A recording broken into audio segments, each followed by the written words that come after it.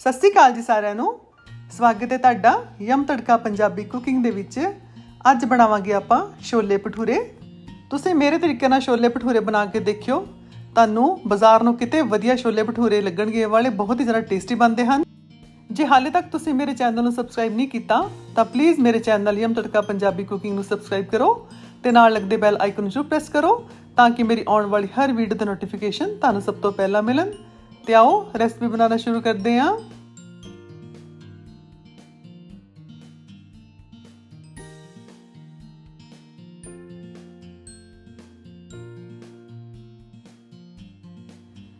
ਤੇ ਛੋਲੇ ਮਸਾਲਾ ਬਣਾਉਣ ਵਾਸਤੇ ਮੈਂ ਛੋਲੇ ਲਏ ਤੇ 400 ਗ੍ਰਾਮ ਤੇ ਇਹਨਾਂ ਨੂੰ ਮੈਂ ਰਾਤੀ ਪਾਣੀ ਵਿੱਚ ਭਿਓ ਦਿੱਤਾ ਸੀਗਾ। ਤੇ ਹੁਣ ਆਪਾਂ ਇਹਨਾਂ ਨੂੰ ਇੱਕ ਵਾਰੀ ਵਾਸ਼ ਕਰ ਲਵਾਂਗੇ। ਤੇ ਹੁਣ ਛੋਲੇ ਮੈਂ ਚੰਗੀ ਤਰ੍ਹਾਂ ਸਾਫ਼ ਪਾਣੀ ਨਾਲ ਧੋ ਲਿਆ ਤੇ ਹੁਣ ਆਪਾਂ ਇਧਰ ਗੈਸ ਉੱਪਰ ਰੱਖਿਆ ਹੈ 1 ਗਲਾਸ ਪਾਣੀ ਤੇ ਇਹਦੇ ਵਿੱਚ ਪਾਵਾਂਗੇ 1 ਚਮਚ ਚਾਹ ਪੱਤੀ ਦਾ ਤੇ ਇਹਨੂੰ ਬੋਇਲ ਕਰ ਲਵਾਂਗੇ ਚੰਗੀ ਤਰ੍ਹਾਂ। ਤੇ ਹੁਣ ਪ੍ਰੈਸ਼ਰ ਕੁੱਕਰ ਦੇ ਵਿੱਚ ਆਪਾਂ ਧੋਤੇ ਹੋਏ ਛੋਲੇ ਪਾ ਦੇਵਾਂਗੇ। ਤੇ ਚਾਹ ਪੱਤੀ ਵਾਲਾ ਪਾਣੀ ਜਿਹੜਾ ਆਪਾਂ ਉਬਾਲ ਕੇ ਰੱਖਿਆ ਸੀਗਾ, ਉਹ ਸਾਰਾ ਆਪਾਂ ਇਹਦੇ ਵਿੱਚ ਪਾ ਦੇਵਾਂਗੇ। ਤੇ ਡੇਢ ਕੁ ਗਲਾਸ ਪਾਣੀ ਆਪਾਂ ਇੱਥੇ ਹੋਰ ਪਾਵਾਂਗੇ।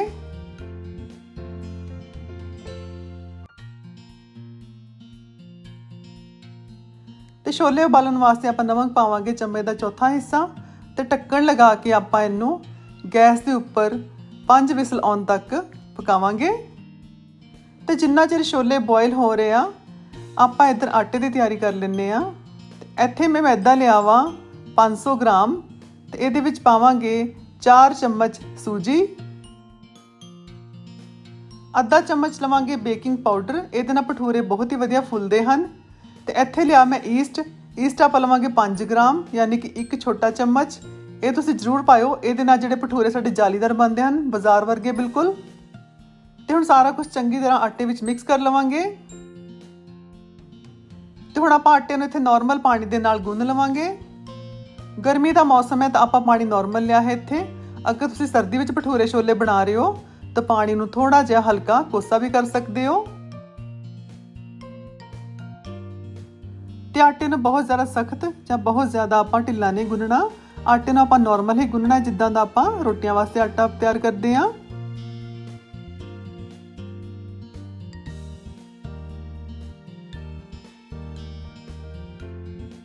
ਤੇ ਆਟਾ ਹੁਣ ਗੁੰਨ ਕੇ ਤਿਆਰ ਹੋ ਗਿਆ ਹੈ, ਤਾਂ ਹਲਕਾ ਜਿਹਾ ਇਹਦੇ ਉੱਪਰ ਤੇਲ ਲਗਾ ਕੇ ਇੱਕ ਵਾਰੀ ਇਹਨੂੰ ਫਿਰ ਗੁੰਨ ਲਵਾਂਗੇ।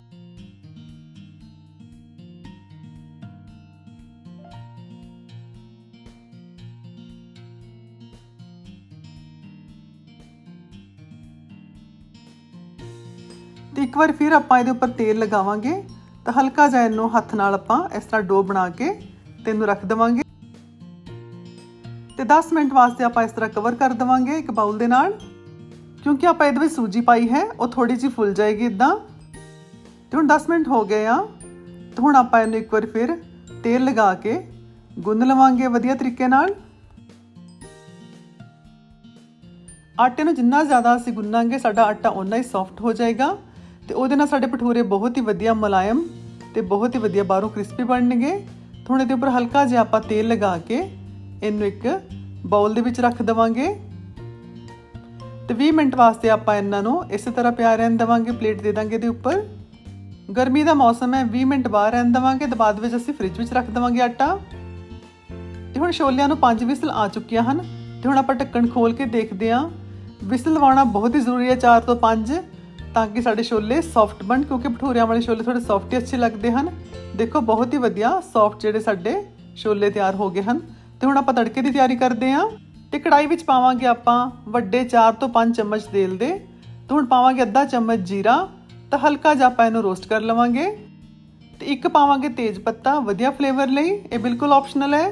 ਤੇ ਇੱਥੇ ਮੈਂ ਲਿਆ ਵਾ ਥੋੜਾ ਜਿਹਾ ਅਦਰਕ ਥੋੜਾ ਜਿਹਾ ਲਸਣ ਤੇ ਦੋ ਹਰੀਆਂ ਮਿਰਚਾਂ ਨੂੰ ਮੈਂ ਕੁੱਟ ਲਿਆ ਵਾ। ਤੋਂ ਆਪਾਂ ਤੇਲ ਦੇ ਵਿੱਚ ਪਾ ਦਵਾਂਗੇ। ਤੇ ਹੁਣ ਆਪਾਂ ਇਹਨੂੰ 골ਡਨ ਬ੍ਰਾਊਨ ਹੋਣ ਤੱਕ ਫਰਾਈ ਕਰਾਂਗੇ।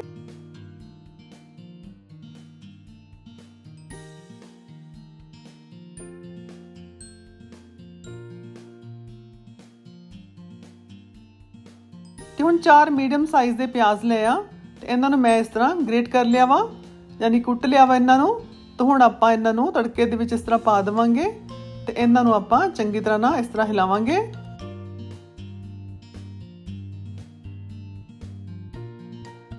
골ਡਨ ਬ੍ਰਾਊਨ ਹੋਣ ਤੱਕ ਆਪਾਂ ਇਹਨਾਂ ਨੂੰ ਫਰਾਈ ਕਰਨਾ ਹੈ।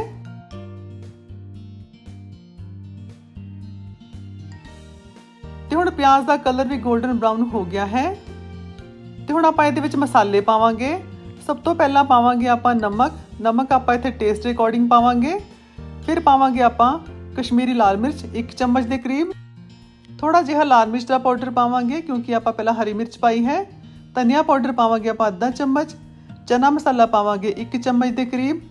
ਤੇ ਹੁਣ ਆਪਾਂ ਇਹਨਾਂ ਨੂੰ 2 ਮਿੰਟ ਮੀਡੀਅਮ ਫਲੇਮ ਦੇ ਉੱਪਰ ਫਰਾਈ ਕਰ ਲਵਾਂਗੇ।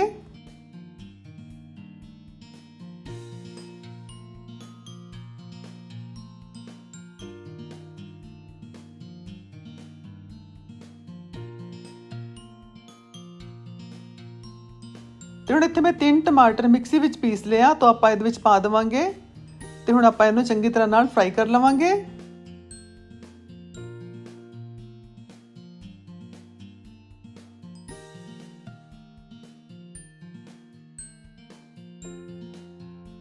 ਆਪਾਂ ਤੜਕੇ ਨੂੰ ਉਦੋਂ ਤੱਕ ਫਰਾਈ ਕਰਾਂਗੇ, ਜਦੋਂ ਤੱਕ ਕਿ ਤੜਕਾ ਤੇਲ ਨਹੀਂ ਛੱਡ ਦਿੰਦਾ।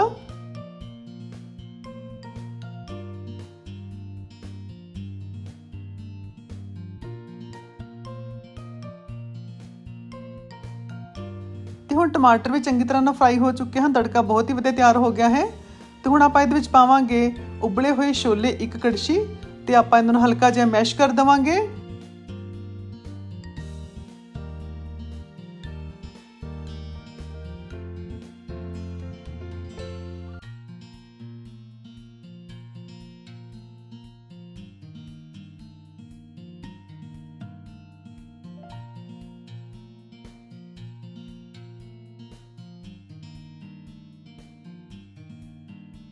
ਤੇ ਹੁਣ ਆਪਾਂ ਇਹਦੇ ਵਿੱਚ ਸਾਰੇ ਛੋਲੇ ਪਾ ਦਵਾਂਗੇ ਤੇ ਮਿਕਸ ਕਰਾਂਗੇ। ਤੇ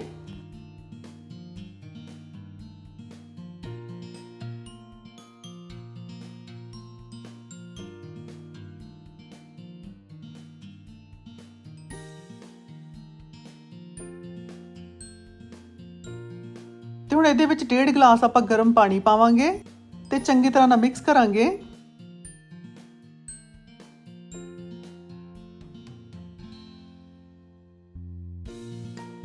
ਤੇ ਇੱਕ ਚਮਚ ਆਪਾਂ ਇੱਥੇ ਕਸੂਰੀ ਮੇਥੀ ਪਾਵਾਂਗੇ।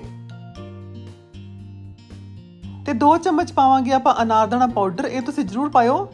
ਅਸਲੀ ਟੇਸਟ ਜਿਹੜਾ ਛੋਲਿਆਂ ਦਾ ਇਹਨਾਂ ਦੇ ਨਾਲ ਹੀ ਆਉਂਦਾ ਹੈ ਤੇ ਬਹੁਤ ਹੀ ਵਧੀਆ ਚਟਪਟੇ ਛੋਲੇ ਸਾਡੇ ਤਿਆਰ ਹੁੰਦੇ ਹਨ। ਤੇ ਇਹ ਮੈਂ ਘਰ ਪੀਸਿਆ ਸੀਗਾ। ਤੇ ਇੱਥੇ ਮੈਂ ਲਿਆ ਵਾ 50 ਗ੍ਰਾਮ ਗੁੜ, ਇਹ ਵੀ ਤੁਸੀਂ ਜ਼ਰੂਰ ਪਾਇਓ, ਬਹੁਤ ਹੀ ਵਧੀਆ ਖੱਟਾ ਮਿੱਠਾ ਟੇਸਟ ਆਏਗਾ। ਤੇ ਹੁਣ ਆਪਾਂ ਚੰਗੀ ਤਰ੍ਹਾਂ ਨਾਲ ਮਿਕਸ ਕਰ ਦਵਾਂਗੇ। ਜਿਹੜਾ ਅਨਾਰਦਾਨਾ ਆਪਾਂ ਬਾਜ਼ਾਰ ਤੋਂ ਪੀਸਿਆ ਹੋਇਆ ਲੈ ਕੇ ਆਨੇ ਆ ਉਹ ਬਹੁਤ ਜ਼ਿਆਦਾ ਵਧੀਆ ਨਹੀਂ ਹੁੰਦਾ। ਇਸ ਕਰਕੇ ਅਨਾਰਦਾਨਾ ਹਮੇਸ਼ਾ ਵਧੀਆ ਕੁਆਲਿਟੀ ਦਾ ਖਰੀਦੋ ਤੇ ਘਰ ਲਿਆ ਕੇ ਖੁਦ ਪੀਸੋ ਤਾਂ ਫਿਰ ਹੀ ਵਧੀਆ ਅਨਾਰਦਾਣਾ ਪਾਊਡਰ ਤਿਆਰ ਹੁੰਦਾ ਹੈ। ਤੇ ਅੱਧਾ ਚਮਚ ਗਰਮ ਮਸਾਲਾ ਪਾਊਡਰ ਪਾਵਾਂਗੇ ਤੇ ਮਿਕਸ ਕਰਾਂਗੇ।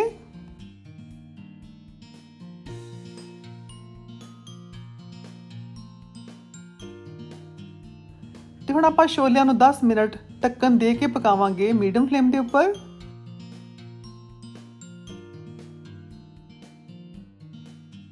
ਤੇ ਹੁਣ 10 ਮਿੰਟ ਹੋ ਗਏ ਹਨ, ਤਾਂ ਹੁਣ ਆਪਾਂ ਚੈੱਕ ਕਰਦੇ ਆਂ ਦੇਖੋ, ਛੋਲਿਆਂ ਦਾ ਕਲਰ ਬਹੁਤ ਹੀ ਵਧੀਆ ਆਇਆ ਹੈ। ਤਾਂ ਹੁਣ ਆਪਾਂ ਇਹਨਾਂ ਨੂੰ ਇੱਕ ਵਾਰੀ ਇਸ ਤਰ੍ਹਾਂ ਹਿਲਾ ਕੇ ਦੇਖਦੇ ਆਂ ਬਹੁਤ ਹੀ ਵਧੀਆ ਸਾਡੇ ਛੋਲਿਆਂ ਦਾ ਕਲਰ ਆਇਆ ਹੈ ਤੇ ਸਬਜ਼ੀ ਬਹੁਤ ਹੀ ਵਧੀਆ ਲੱਗ ਰਹੀ ਹੈ। ਤੇ ਹੁਣ ਆਪਾਂ ਇਹਦੇ ਵਿੱਚ ਪਾਵਾਂਗੇ ਕੱਟਿਆ ਹੋਇਆ ਬਰੀਕ ਹਰਾ ਧਨੀਆ। ਤੇ ਹੁਣ ਚੰਗੀ ਤਰ੍ਹਾਂ ਨਾਲ ਮਿਕਸ ਕਰਾਂਗੇ। ਤੇ ਸਾਡੇ ਛੋਲੇ ਬਣ ਕੇ ਬਿਲਕੁਲ ਤਿਆਰ ਹਨ। ਤੁਸੀਂ ਦੇਖ ਸਕਦੇ ਹੋ, ਬਹੁਤ ਹੀ ਵਧੀਆ ਸਾਡੇ ਛੋਲੇ ਮਸਾਲਾ ਬਣਿਆ ਹੈ। ਤੇ ਤੁਸੀਂ ਅੱਗੇ ਤੋਂ ਜਦੋਂ ਵੀ ਛੋਲੇ ਮਸਾਲਾ ਬਣਾਓ, ਤੇ ਇਸ ਤਰੀਕੇ ਨਾਲ ਬਣਾਓ, ਤੁਹਾਨੂੰ ਬਹੁਤ ਹੀ ਜ਼ਿਆਦਾ ਪਸੰਦ ਆਏਗਾ। ਤੇ ਤੁਸੀਂ ਬਾਰ-ਬਾਰ ਇਸੇ ਤਰ੍ਹਾਂ ਹੀ ਬਣਾਓਗੇ। ਤੇ ਚਲੋ ਹੁਣ ਆਪਾਂ ਭਟੂਰਿਆਂ ਦੀ ਤਿਆਰੀ ਕਰਦੇ ਆਂ ਤੇ ਇੱਧਰ 30 ਮਿੰਟ ਹੋ ਗਿਆ, ਸਾਡਾ ਡੋ ਬਿਲਕੁਲ ਵਧੀਆ ਤਰੀਕੇ ਨਾਲ ਫੁੱਲ ਚੁੱਕਿਆ ਹੈ। ਤੇ ਮੈਂ ਇਹਨੂੰ ਥੋੜੀ ਦੇਰ ਵਾਸਤੇ ਫ੍ਰਿਜ ਵਿੱਚ ਰੱਖ ਦਿੱਤਾ ਸੀਗਾ। ਤੇ ਹੁਣ ਆਪਾਂ ਇਹਨੂੰ ਤੇਲ ਲਗਾ ਕੇ ਥੋੜਾ ਜਿਹਾ ਇੱਕ ਵਾਰ ਫੇਰ ਇਸ ਤਰ੍ਹਾਂ ਗੁੰਨ ਲਵਾਂਗੇ ਸੌਫਟ ਕਰ ਲਵਾਂਗੇ ਇੱਕ ਵਾਰ। ਪਹਿਲਾਂ 15 ਮਿੰਟ ਆਟਾ ਬਾਹਰ ਹੀ ਪਿਆ ਰਿਹਾ ਸੀ। ਉਸ ਤੋਂ ਬਾਅਦ 15 ਮਿੰਟ ਮੈਂ ਇਹਨੂੰ ਫ੍ਰਿਜ ਵਿੱਚ ਰੱਖ ਦਿੱਤਾ ਸੀਗਾ ਕਿਉਂਕਿ ਗਰਮੀ ਦਾ ਮੌਸਮ ਹੈ। ਇਸ ਕਰਕੇ ਤੇ ਹੁਣ ਸਾਡਾ ਤਿਆਰ ਹੈ ਆਟਾ ਬਿਲਕੁਲ ਭਟੂਰਿਆਂ ਵਾਸਤੇ। ਤੇ ਹੁਣ ਆਪਾਂ ਛੋਟੇ ਛੋਟੇ ਬੋਲ ਬਣਾ ਲਵਾਂਗੇ। ਪੇੜੇ ਤੁਸੀਂ ਆਪਣੇ ਹਿਸਾਬ ਨਾਲ ਕਰ ਸਕਦੇ ਹੋ ਕਿ ਤੁਸੀਂ ਭਟੂਰੇ ਵੱਡੇ ਬਣਾਉਣੇ ਹਨ ਜਾਂ ਛੋਟੇ ਬਣਾਉਣੇ ਹਨ।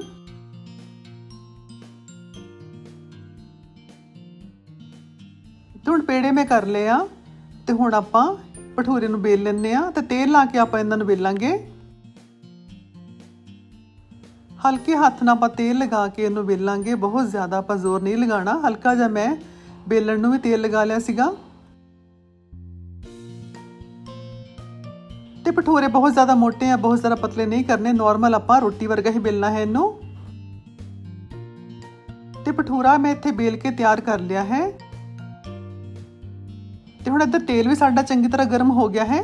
ਹੁਣ ਆਪਾਂ ਇੱਕ ਵਾਰੀ ਇਹਨੂੰ ਚੈੱਕ ਕਰ ਲੈਂਦੇ ਆ ਛੋਟਾ ਜਿਹਾ ਆਟੇ ਦਾ ਪੀਸ ਆਪਾਂ ਸਿੱਟਿਆ ਹੈ ਥੋੜਾ ਆਪਾਂ ਦੇਖਦੇ ਆ ਤੇ ਬਹੁਤ ਹੀ ਵਧੀਆ ਫੁੱਲ ਕੇ ਇਹ ਆਟਾ ਉੱਪਰ ਆ ਗਿਆ, ਤੁਸੀਂ ਦੇਖ ਸਕਦੇ ਹੋ। ਤੇ ਹੁਣ ਆਪਾਂ ਇਹਨੂੰ ਬਾਹਰ ਕੱਢ ਲਵਾਂਗੇ। ਤੇ ਹੁਣ ਸਾਡਾ ਤੇਲ ਬਿਲਕੁਲ ਤਿਆਰ ਹੈ, ਤਾਂ ਹੁਣ ਆਪਾਂ ਇਹਦੇ ਵਿੱਚ ਭਟੂਰੇ ਫਰਾਈ ਕਰ ਲਵਾਂਗੇ। ਤੇਲ ਜਿਹੜਾ ਹੈ, ਬਹੁਤ ਹੀ ਜ਼ਿਆਦਾ ਗਰਮ ਹੋਣਾ ਚਾਹੀਦਾ ਹੈ, ਬਿਲਕੁਲ ਹਾਈ ਫਲੇਮ ਦੇ ਉੱਪਰ। ਤੇਲ ਠੰਡਾ ਬਿਲਕੁਲ ਨਹੀਂ ਹੋਣਾ ਚਾਹੀਦਾ। ਤੇ ਹੁਣ ਆਪਾਂ ਇਸ ਤਰ੍ਹਾਂ ਇਹਨੂੰ ਹਲਕਾ ਹਲਕਾ ਪ੍ਰੈਸ ਕਰਕੇ ਤੇ ਇਹਦੇ ਉੱਪਰ ਤੇਲ ਪਾਵਾਂਗੇ। ਤੇਲ ਪਾਉਣ ਦੇ ਨਾਲ ਹੀ ਜਿਹੜਾ ਸਾਡਾ ਭਟੂਰਾ ਵਧੀਆ ਫੁੱਲ ਜਾਂਦਾ ਹੈ ਇਸ ਤਰ੍ਹਾਂ। ਤੁਸੀਂ ਦੇਖ ਸਕਦੇ ਹੋ ਕਿ ਭਟੂਰਾ ਕਿੰਨਾ ਵਧੀਆ ਫੁੱਲਿਆ ਹੈ ਤੇ ਬਹੁਤ ਹੀ ਵਧੀਆ ਬਲੂਨ ਵਾਂਗੂ ਇਹ ਫੁੱਲ ਗਿਆ ਹੈ। ਤੇ ਹੁਣ ਆਪਾਂ ਇਹਦੀ ਸਾਈਡ ਚੇਂਜ ਕਰ ਦਵਾਂਗੇ ਤੇ ਬਹੁਤ ਹੀ ਵਧੀਆ ਇਧਰੋਂ ਵੀ ਕਲਰ ਆਇਆ ਹੈ 골ਡਨ ਤੇ ਹੁਣ ਆਪਾਂ ਇਹਨੂੰ ਹਲਕਾ ਜਿਹਾ 골ਡਨ ਹੋਣ ਤੱਕ ਫਰਾਈ ਕਰ ਲਵਾਂਗੇ। ਤੇਲ ਹਮੇਸ਼ਾ ਹੀ ਗਰਮ ਹੀ ਰੱਖੋ ਭਟੂਰਿਆਂ ਦਾ। ਜੇਕਰ ਤੇਲ ਠੰਡਾ ਹੋਏਗਾ ਤਾਂ ਭਟੂਰਿਆਂ ਦੇ ਅੰਦਰ ਬਹੁਤ ਹੀ ਜ਼ਿਆਦਾ ਤੇਲ ਹੋ ਜਾਏਗਾ। ਇਸ ਕਰਕੇ ਤੇਲ ਬਹੁਤ ਹੀ ਜ਼ਿਆਦਾ ਗਰਮ ਹੋਣਾ ਚਾਹੀਦਾ ਹੈ। ਤੇ ਹੁਣ ਭਟੂਰਿਆਂ ਦਾ ਕਲਰ ਬਹੁਤ ਹੀ ਵਧੀਆ ਲਾਈਟ 골ਡਨ ਹੋ ਗਿਆ ਹੈ। ਤੇ ਹੁਣ ਆਪਾਂ ਇਹਨਾਂ ਨੂੰ ਬਾਹਰ ਕੱਢ ਲਵਾਂਗੇ ਪਲੇਟ ਦੇ ਵਿੱਚ। ਤੇ ਹੁਣ ਆਪਾਂ ਸਾਰੇ ਭਟੂਰੇ ਇਸੇ ਤਰ੍ਹਾਂ ਨਾਲ ਬੇਲ ਬੇਲ ਕੇ ਇੱਕ ਇੱਕ ਆਪਾਂ ਇਹਦੇ ਵਿੱਚ ਪਾਉਂਦੇ ਜਾਵਾਂਗੇ। ਤੇ ਇਸ ਤਰ੍ਹਾਂ ਥੋੜਾ ਜਿਹਾ ਇਹਨੂੰ ਦਬਾਵਾਂਗੇ ਤੇ ਉੱਪਰ ਇਹਦੇ ਤੇਲ ਪਾਉਂਦੇ ਰਵਾਂਗੇ ਹਲਕਾ ਹਲਕਾ ਇਸ ਤਰ੍ਹਾਂ। ਤੇਲ ਪਾਉਣ ਦੇ ਨਾਲ ਹੀ ਭਟੂਰੇ ਫੁੱਲਦੇ ਹਨ। ਤੁਸੀਂ ਇੱਕ ਇੱਕ ਭਟੂਰਾ ਹੀ ਕੜਾਈ ਵਿੱਚ ਪਾ ਕੇ ਇਸ ਤਰ੍ਹਾਂ ਬਣਾਇਓ। ਅਗਰ ਤੁਹਾਡੀ ਵੱਡੀ ਕੜਾਈ ਹੈ, ਤੁਸੀਂ ਜ਼ਿਆਦਾ ਪਾ ਸਕਦੇ ਹੋ। ਦੇਖੋ, ਸਾਡੇ ਭਟੂਰੇ ਬਿਲਕੁਲ ਤਿਆਰ ਹਨ, ਬਣ ਕੇ ਬਹੁਤ ਹੀ ਵਧੀਆ ਭਟੂਰੇ ਬਣੇ ਹਨ। ਤੇ ਛੋਲੇ ਵੀ ਬਹੁਤ ਹੀ ਜ਼ਿਆਦਾ ਟੇਸਟੀ ਬਣੇ ਹਨ। ਹੁਣ ਆਪਾਂ ਇੱਕ ਭਟੂਰਾ ਤੁਹਾਨੂੰ ਇਸ ਤਰ੍ਹਾਂ ਤੋੜ ਕੇ ਦਿਖਾਉਂਦੇ ਆ ਤੁਸੀਂ ਦੇਖ ਸਕਦੇ ਹੋ ਕਿੰਨਾ ਜਾਲੀਦਾਰ ਵਧੀਆ ਭਟੂਰਾ ਬਣਿਆ ਹੈ। ਅੰਦਰੋਂ ਸੌਫਟ ਹੈ ਤੇ ਬਾਹਰੋਂ ਬਿਲਕੁਲ ਹੀ ਕੁਰਕਰਾ, ਬਹੁਤ ਹੀ ਅੱਛੇ ਭਟੂਰੇ ਬਣੇ ਹਨ। ਤੁਸੀਂ ਮੇਰੇ ਤਰੀਕੇ ਨਾਲ ਛੋਲੇ ਭਟੂਰੇ ਜ਼ਰੂਰ ਟਰਾਈ ਕਰਨਾ। ਤੇ ਫਿਰ ਮੈਨੂੰ ਕਮੈਂਟਸ ਵਿੱਚ ਦੱਸਣਾ ਕਿ ਤੁਹਾਡੇ ਛੋਲੇ ਭਟੂਰੇ ਕਿਸ ਤਰ੍ਹਾਂ ਬਣੇ? ਜੇ ਹਾਲੇ ਤੱਕ ਤੁਸੀਂ ਮੇਰੇ ਚੈਨਲ ਨੂੰ ਸਬਸਕ੍ਰਾਈਬ ਨਹੀਂ ਕੀਤਾ, ਤਾਂ ਪਲੀਜ਼ ਮੇਰੇ ਚੈਨਲ ਯਮ ਤੜਕਾ ਪੰਜਾਬੀ ਕੁਕਿੰਗ ਨੂੰ ਜੋ ਸਬਸਕ੍ਰਾਈਬ ਕਰੋ ਤੇ ਫਿਰ ਮਿਲਦੇ ਇੱਕ ਨਵੀਂ ਰੈਸਪੀ ਦੇ ਨਾਲ। ਉਦੋਂ ਤੱਕ ਲਈ ਸਤਿ ਸ਼੍ਰੀ ਅਕਾਲ।